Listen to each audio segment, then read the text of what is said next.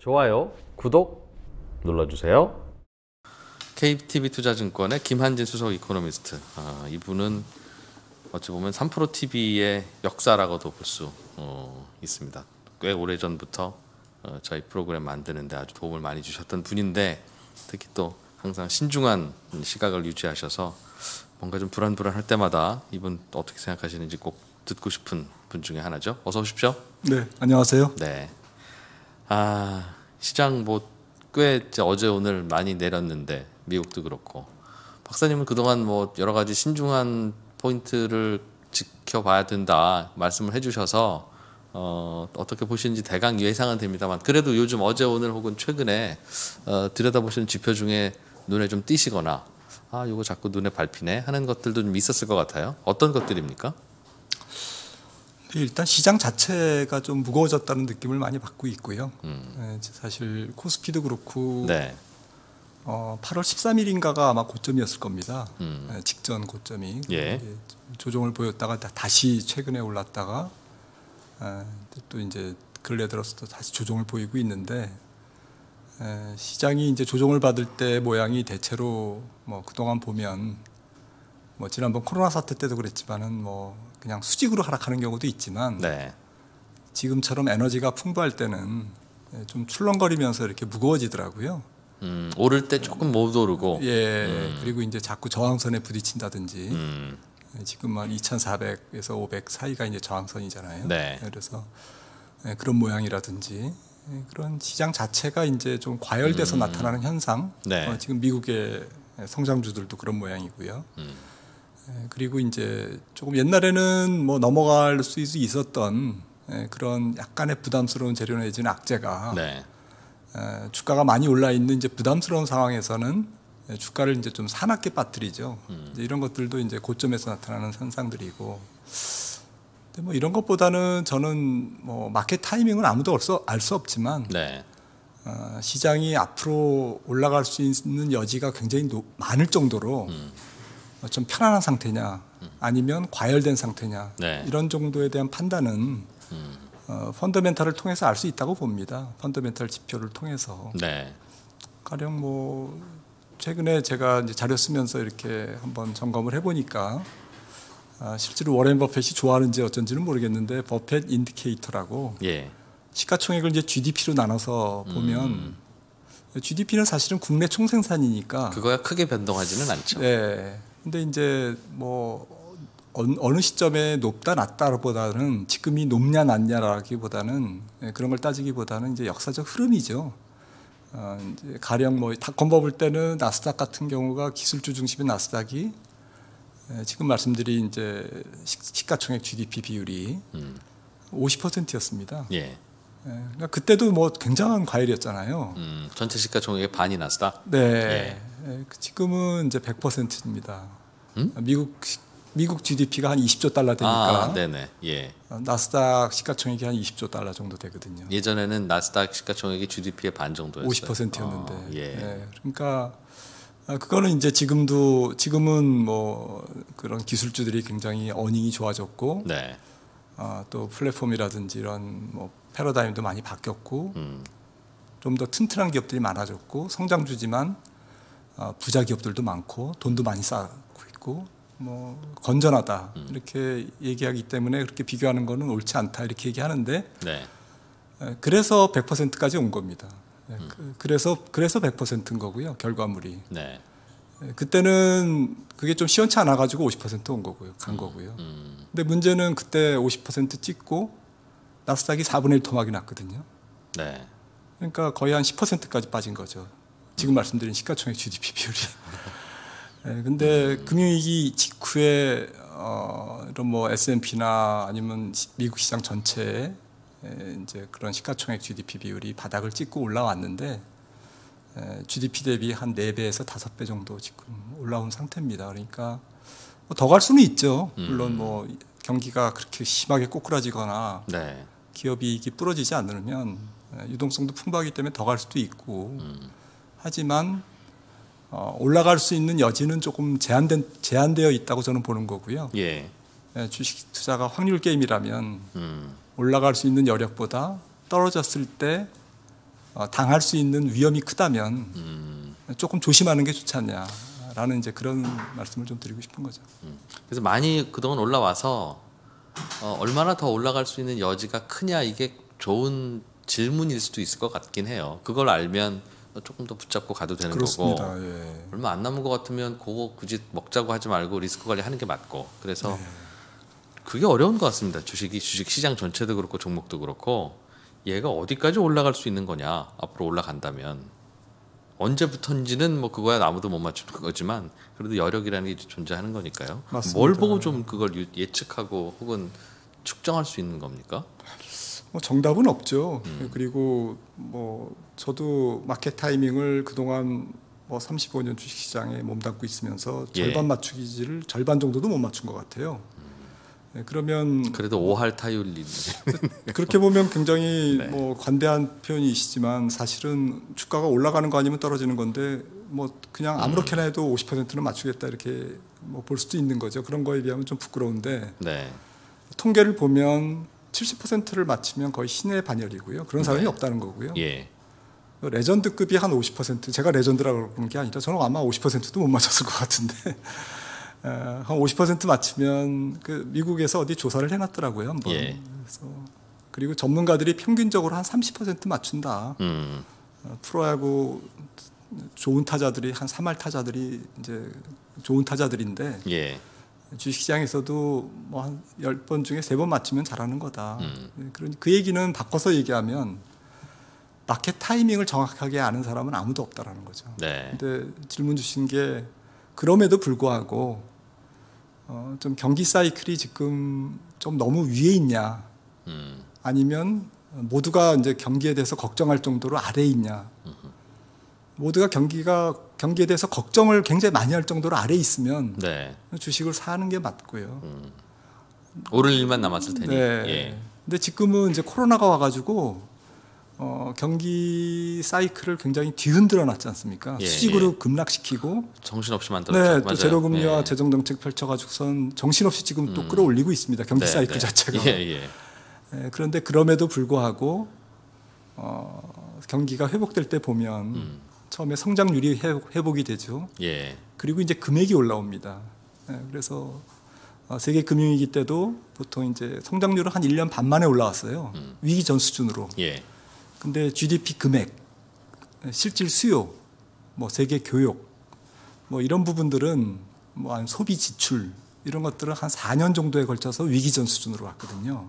예. 근데 주가는 센티먼트를 먹고 사는 상품이기 때문에 자산이기 때문에 성장률에 대, 해서 반응하는 게 맞습니다. 네. 뭐 내일 내일 내일 경기가 오늘보다 좋아지지 않겠어? 음. 내년 경기가 더 좋아지지 않겠어? 이러면 올라가야 되는 거죠. 근데 문제는 그렇게 해서 올라온 게 지금 코로나 19 이전 수준까지 왔지 않습니까? 음, 네. 미국 기준으로 예. 지표들이 아니요 주가가, 주가가, 예. 네. 근데 지표는 실제로 그 금액을 도달하려면 음. 코로나 19 이전에 뭐 2019년 작- 작년 말이라든지 음.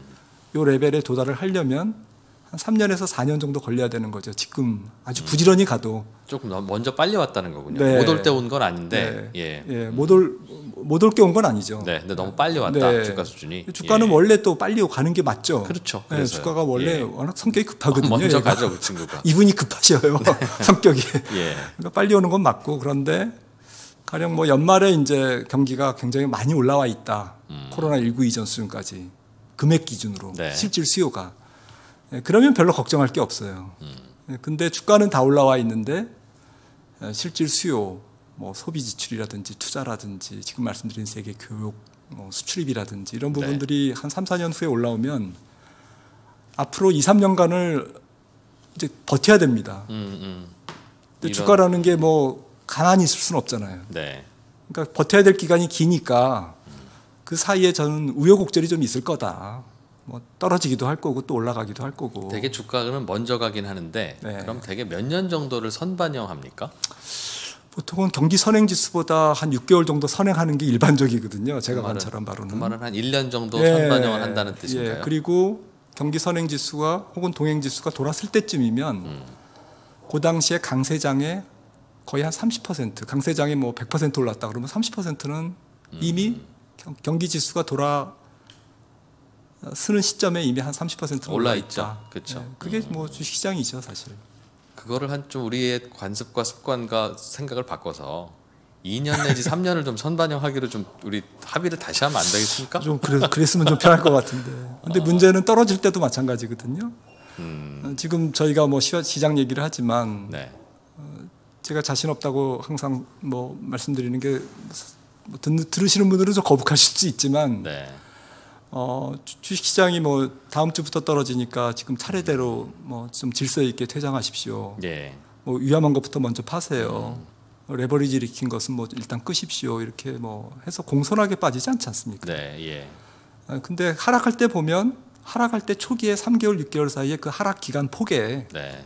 거의 또 30%가 그때 나온다라는 거죠. 초기에 많이 초기에 아. 올라갈 때도 그렇고. 그래요. 그래서 정신없이 빠지고 나면 손절매 타임 잃고 또 네. 정신없이 오르고 나면 이거 지금 사기에는 늦은 것 같은데 하는 생각이 들어요. 네, 그래서 이제 좀 나이가 들면 주식시장에 대해서 좀 보수적으로 되는 게몇 음. 번의 사이클을 거치니까 주식을 사야 될 때 못 산 이유는 물렸기 때문에 못 사는 거고 예, 물린 이유는 조금 더 욕심을 부렸기 때문에 물렸, 물렸다라는 거죠. 예, 그래서 이제 타협을 해야죠 시장이랑 음, 조금 덜 먹지만 나는 아, 적게 깨질 거야. 예, 뭐 이렇게 타협할 수도 있는 거고요. 나이가 들수록 이제 그렇게 저는 타협이 되더라고요.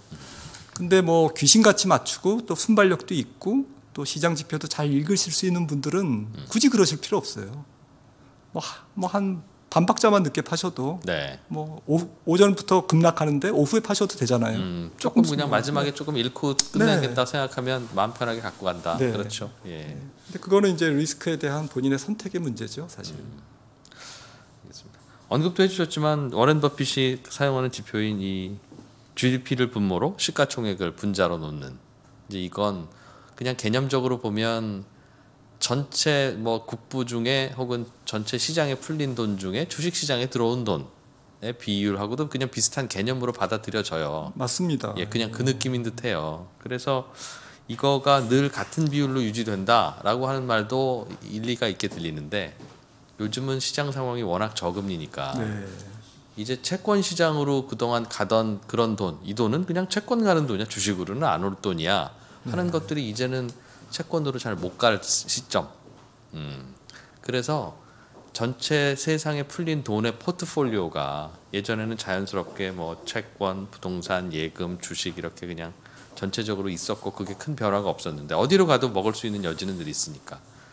그런데 이제는 어 채권으로 fixed income으로 가던 돈들이 어디 갈 곳이 좀 없어지는 워낙 저금리의 바닥이고 마이너스를 뚫고 가기는 어려우니까 그 돈들이 주식 시장으로 오든 원자재 시장으로 가든 부동산으로 가든 혹시 뭐 그런 쪽으로 움직이기 때문에 뭔가 그동안에 보던 판하고는 좀 달리 봐야 되는 게 아니냐는 게 그동안 우리가 상승장에서 기대했던 논리였지 않습니까? 네.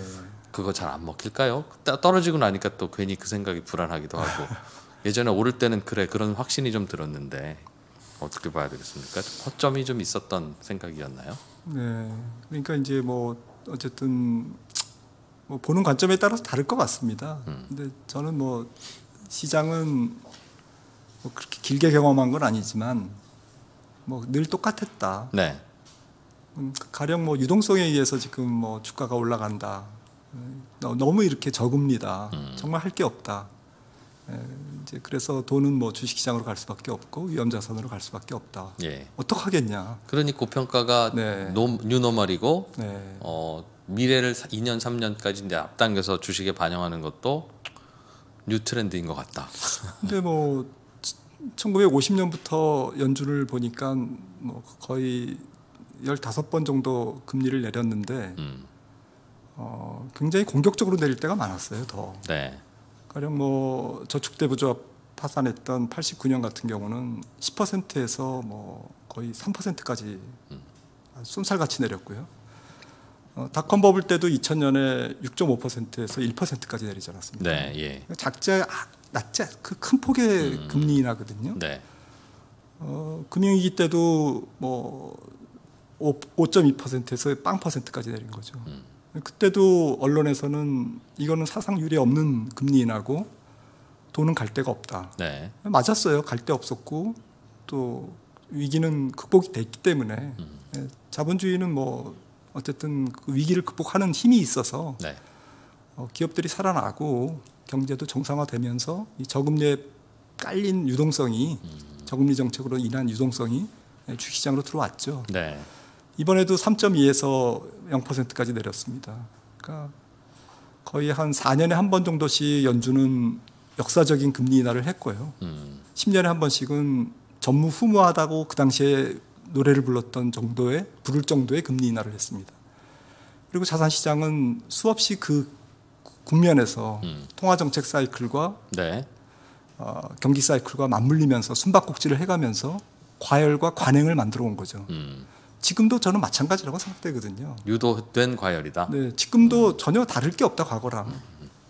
예, 그런데 문제는 이런 저금리에 의한 오갈 데 없는 돈들이 네. 위험자산 시장으로 들어오는 것은 똑같은 패턴이었다라는 거죠. 음, 음. 근데 왜 그, 그럼에도 불구하고 조정이 왔고 왜 조정 후에 또 다시 올랐냐라는 걸 보면 결국 주가는 어떤 외부 충격에 의해서 빠지는 경우도 있지만 한 90%는 음. 그동안 뭐 급락장의 대부분 어떤 대세 하락의 근본은 그 근본적인 이유는 시장 자체에 있었다라는 것이죠. 눈이 많이 쌓여서 지붕이 무너지듯이 음. 결국 주가 자체의 무게를 이기지 못하고 주식시장이 무너지는 건데 네. 그 주식시장의 무게가 너무 높아진 이유, 음. 조정을 불러일으키지 않으면 안 될 정도로 높아진 이유는 네. 사람들의 과욕이었고 빠른 시간. 내에 돈을 많이 벌고자 하는 사람들의 욕심이었다라는 거죠. 음. 지금이 그런 측면에서는 과열 조건을 상당히 많이 갖추고 있는 겁니다. 앞서 뭐 어떤 지표상으로도 그렇지만 네. 가령 미국의 IT 주가, IT 소프트웨어 특히 주가의 어, 시장 전체 대비 예. 내지는 산업재라든지 에, 소재 대비 상대 강도 음. 이런 것들은 거의 수직 상승했거든요. 코로나 네. 이후에. 예. 예, 그리고 그 쏠림이 다섯 개 종목이 거의 전체 시가총액의 4분의 1을 차지할 정도로 음. 좀 쏠려 있습니다. 물론 이 기업들이 이익이 굉장히 조- 좋아요. 네. 그왜 하필 네. 좋아서 우리를 아, 다섯 종목이 뭐 S&P 500에서 시가총액이 한 뭐 25%인데 어닝 비중은 거의 15%입니다. 음. S&P 500 300개 기업 숫자로는 60%의 기업하고 비슷한 어닝 비중을 갖고 있거든요. 네. 다섯 개 기업이 음. 예, 한 5조 정도를 시가총액을 유지하고 있는 거죠. 예, 그러니까 그 자체가 잘못됐다라고 말씀을 드리는 게 아니라 그럴 정도로 쏠려 있다. 음. 더 쏠리려면 어떻게 해야 되냐? 얘네들이 계속 돈을 벌어줘야 되고 실망을 시키지 않아야 되는데 음. 보여줄 패가 조금 이제는 약하다. 그 약함을 없- 투자자들이 없다기보다는 아, 약하다. 네. 투자자들이 그걸 이제 받아들이고 네. 그렇죠. 아, 자 그러면 알겠습니다. 그거의 하락 하락 원인을 그렇게 보일 수밖에 없고 그게 합리적으로 받아들여 주- 주겠는데 그렇다면 어느 정도에서 진정이 될 거냐? 결국은 지금 고점을 이제 2% 당신 평생에는 못 볼 거야는 아니지요? 그러니까 어, 엊그제 우리가 느꼈던 이 고점이 네. 어 이제 2% 손자 때나 한번 올까 안 본다고 생각해 이건 아니잖아요. 아, 그죠? 않겠죠. 네. 그렇다면 네, 그렇게 과열도 아닌데요. 뭐 코스피가. 예 그렇다면 어, 뭐 어느 정도의 보통 조정을 야 이거 정말 어려운 질문이긴 한데 그냥 그래도 그런 것좀 여쭙고 싶죠. 뭐 네. 어떻게 보십니까? 한국 증시가 글로벌리 보면 뭐 그렇게 비싼 주식은 아니라고 생각되고요. 네, 또 비싸지 않은 뭐 가령 삼성전자라든지 현대차 같은 거를 뭐 세계적으로 비싼 주식이다 이렇게 보기는 좀 어렵다고 봅니다. 종목을 잘 모르지만 네, 직관적으로 그렇게 생각하고 또 코스피 자체도 앞서 뭐, 뭐 시가총액 GDP 비율이 100%밖에 안 되고요. 음, 어, 그런 관점에서 보면 뭐 오히려 조정을 받을 때 이제 적게 조정을 받거나 뭐 이럴 수는 있지만 에, 문제는 글로벌 주도주 네, 어, 뭐 기술주죠. mega tech 종목들이 조정을 받으면 음, 그 피해를 또 고스란히 입을 수밖에 없는 뭐 또 시장이 한국 시장이지 않습니까? 예, 외국인이 팔든 음, 뭐전 세계적으로 위험 자산에 대한 회피 현상이 일어나서 팔 어, 그렇게 되든 도매급으로 이제 같이 빠질 수밖에 없고 음, 어, 그래서 이제 지금 한 가지 중요한 변수는 에, 어떤 하락의 폭을 결정할 중요한 변수는 코로나 2차 웨이브인 것 같습니다. 네, 어, 그동안 코로나 봄에 우리한테 닥쳐왔던 코로나 1차 파동은 사실은 호재였거든요. 음. 왜냐하면 사망자 수나 확진자 수가 증가하면서 계속 주가가 올랐으니까요. 네. 어, 그리고 사망자 수가 조금 줄면 주가도 살짝 줄었 둔화됐어요. 거의 음. 동행관계였습니다. 처음에는 오히려. 그렇게 안 봤죠. 예. 확진자 수 늘고 이러- 이러면 이제 주가는 다- 떨어지는 다, 걸로. 죽- 죽었다 예. 이제 예, 예. 사람이 죽는 것보다도 주, 주식 시장이 죽었다 이랬는데 오히려 거, 거꾸로 이제 어떤 어떻게 보면 냉정하게 음. 냉혹하게 주가는 뭐 비례해서 왔습니다. 3월 23일 날 연준이 무제한 양적 완화를 하겠다라고 한 시점부터 정확하게 네. 동행이 왔는데 2차 웨이브는 조금 다를 거라는 거죠. 음. 2차 웨이브는 왜냐하면은 어 조금 앞서 말씀드렸던 네. 경기의 실질 수요의 회복을 상당히 늘어뜨릴 가능성이 있거든요. 지연시킬. 음. 에, 지금 제가 계, 계산한 바로나 뭐 IMF나 OECD 이런 데서 음. 얘기하는 것들은 만약에 이번 가을에 겨울에 어, 2차 팬데믹이 조금 강하게 올 경우에는 예. 원래 생각했던 것보다 한 1년에서 1년 반 정도 음. 세계 경기 회복이 이제 delay 될 거다. 어, 지연될 거다 이렇게 얘기하고 있습니다. 그럴 것 예. 같습니다. 예. 그러면 주식 시장이 현재 코로나 before 코로나로 와 있기 때문에 음. 버텨야 되는 기간이 더 길어지는 거죠. 그러네요. 예. 예, 그러면 이제 하방 압력을 받게 돼 있습니다. 예. 그래서 우여곡절이 있을 거라는 거죠. 예, 그래서 그런 관점에서 downside risk가 더 커지는 건데 또 한편으로 만약에 팬데믹이 조금 진정되고 백신도 나와가 빨리 나와서 예. 회복이 된다? 음. 뭐 너무 이제 뭐 걱정이 컸다. 기우였다. 봄이면 벌써 이제 해외여행 다니고 내년 봄이면 네, 네. 뭐 해외여행 준비하고 뭐 이제 난리가 아니다. 음. 이렇게 돼도 주식시장이 부담을 가질 수 있어요. 그건 왜요? 왜냐면 이제 제로 금리를 이제 음, 걷어들여야 되지 않습니까? 그다음에 더 이상의 재정 완화 정책은 있을 수도 없습니다. 네. 그리고 무엇보다도 금리가 뜨게 됩니다. 음. 크던 작든. 예. 그러면 이렇게 저금리에 친화적이고 저금리에 의존적인 어, 주식시장이 상당히 그 금리에 대한 공포에 한번 휩쓸릴 수가 있거든요. 예. 근데 그럼에도 불구하고 경기나 기업 실적이 음. 금리 조금 오르는 거 아무것도 아니야. 경기가 이렇게 좋은데, 너무 좋아야 되는군요. 네, 이익이 이렇게 좋은데 이렇게 입증을 해줘야만 네. 금리가 악재가 안 되는 거죠. 음. 그럴 수 있느냐 과연? 예. 이제 이런 금리와의 전쟁이 또 시작됩니다. 아. 완화 정책이 이제 퇴조되면서 생기는 네. 어 떤 유동성과의 또 전쟁이 시작됩니다. 음. 유동성 회수에. 예, 그래서 주식시장 입장에서 보면 가장 좋은 환경은 예. 바이러스가 그냥 적당하게 이 정도 선에서 그냥 왔다 갔다 하고 백신 개발도 좀 늦어지고 음.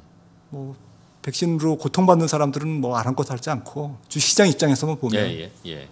아주 냉정하게 예, 그렇게 생각이 됩니다. 그러니까 지금 드리는 말씀은 점점 주식 시- 주가가 올라야 될 환경 조건 이런 것들이 까다로워지고 있다는 거죠. 그 얘기는 그러네. 음. 주가가 올라갈 수 있는 어떤 여- 가능성 여건이 어. 확률적으로 좀 줄고 있다 이렇게 볼 수도 있습니다. 지금 과열의 정도는 사람 보는 사람마다 다르겠지만 박사님이 보시기에는 대략 몇 뼘 정도 과열이었습니까? 그저 그 동안에도 어, 좀 조심해야 될 필요는 있는 것 같아요. 염두에는 두세요 하는 그런 조언을 꾸준히 주시긴 했는데 이제 그 시각에 비추어 보면 얼- 그 과열의 정도라고 하는 것도 질문이 될 수 있을까요? 어, 그러게요. 뭐 저는 뭐 음. 코스피도 뭐 한 2천 넘기는 좀 쉽지 않다. 예. S&P도 뭐 3천 정도면 뭐 잘 가는 거다. 음. 이렇게 생각을 해서 좀 소극적으로 봤던 거는 뭐 반성하고 있는데 네. 뭐 그건 그거고요. 근데 그거를 이제 뚫고 음. 올라왔고 또그 최근에 이제 올라올 때 모양이 어뭐 그 전에도 그랬습니다만은 이익의 증가보다는 PER 음. 주가가 너무 많이 튀어가지고 네. 예, 그 미래 이익을 땡겨서 이제 리레이팅이 되면서 올라온 게 있어서 어, 최근에 조금 한 3개월 뭐 6개월 정도의 과열이 예. 한 3, 4개월 정도의 과열이 예, 조금 어, 사람들이 너무 쏠림 쏠리면서 예. 예, 급하게 이제 어떤 수익을 내야 된다는 조급함에서 음. 전 세계 투자자들이 이제 열심히 유동성으로 이제 게임을 하다 보니까 생긴 음. 3, 4개월 정도의 네, 상승 과열이 정도가 과열이 조금 조금 얹혀져 얹혀져 있다. 네. 그 정도의 과열이라고 생각을 합니다. 그런 느낌으로 보셨군요. 예. 오늘 오랜만에 김한진 박사님 모시고 어, 최근에 하락 원인에 대해서 어, 여쭤봤습니다. 아, 박사님께서는 시장 내부의 과열 때문인 것 같다. 뭐 다른 변수가 아니라 어찌 보면 근본적인 걸 수도 있고 뭐 늘 시장에 있는 네. 잠재도 있던 문제일 수도 있는데 맞습니다. 시장 내부의 과열 때문이다. 어, 굳이 더 그걸 설명하자면 지표는 천천히 회복되고 있는데 주가는 너무 빨리 갔다. 그 부분에 대한 격차를 줄이는 과정이라고 보신다는 거고. 앞으로의 변수는 코로나의 상황에 따라서 달라질 것 같은데 이게 참 코로나가 점점 더 악화돼서 생각보다 회복이 늦어져도 주식시장에는 그리 좋은 그 시- 사건 아닐 것 같고 왜냐하면 경기 지표가 따라가야 되는데 못 따라갈 네. 테니까 그렇다고 너무 빨리 좋아지고 얘 원상복귀가 되면 주식시장은 또 이제 음, 금리 올리겠네? 네. 예, 라는 생각으로 더 불안해할 테니 그게 이제 과열됐으니까 이제 불안한 거겠죠. 그렇죠? 네, 다 예. 그래서 생긴 문제죠. 저도 예전에 자동차 담당 기자 할 때 평생 못 몰아볼 만한 빠른 스포츠카를 타면 240, 50 이렇게 달리면 시야가 이렇게 좁아지더군요. 아, 그렇다. 아, 예, 망원경 보듯이 네. 어, 달릴 수 있는 길이 정해져 있는 왼쪽도 안 되고 오른쪽도 안 되고 뭐 시장도 빠르게 달리다 보면 그렇게 이제 선택의 선택지가 줄어든다는 뜻 같은데 그만큼 음, 예전처럼 편하게 달릴 수 있는 길은 아닐 것 같습니다. 원인은 그렇습니다. 네. 평가를 해주셨네요. 그렇게 이해하고 공부하고 받아들이겠습니다. 네, 저도 공부하겠습니다. 예, 오늘은 KTB 투자증권의 김한진 수석 이코노미스트 모시고 어, 이야기 들어봤고요. 잠시 후에 오늘은 평소와는 달리 한 분 더 모셨어요. KB증권의 박수혁, 박수현 수석연구원 모시고 중국 증시 상황 잠깐 좀 짚어 보겠습니다. 박사님 고맙습니다. 네, 감사합니다.